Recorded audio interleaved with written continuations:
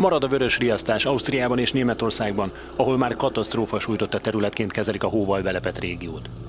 A következő napokban ugyanis további havazást jeleznek előre a meteorológusok.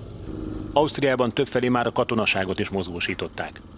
Az osztrák lavinafigyelő központ vezetője azt kéri a turistáktól, hogy kizárólag a kijelölt pályákat használják.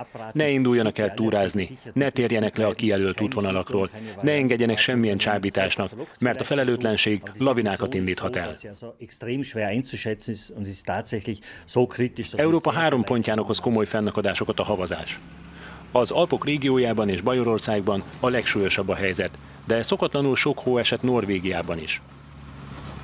Arra felé sokan járhatatlan út, több repülőtér forgalmát le kellett állítani, a közúti tömegközlekedés is akadozik.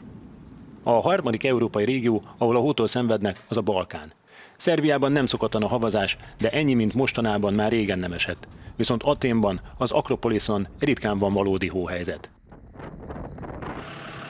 Görögország déli területein a következő napokban is komoly havazásra kell számítani egy hamarosan odaérő front miatt. A rendkívüli időjárás miatt Európában eddig 16 halálos áldozatról lehet tudni.